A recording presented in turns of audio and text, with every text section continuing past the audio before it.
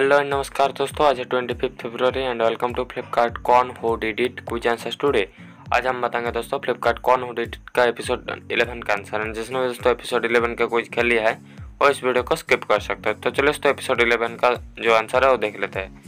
तो जो क्वेश्चन है दोस्तों हु इज़ द किलर तो चार ऑप्शन दिया हुआ है दोस्तों। यह का सही आंसर है दोस्तों।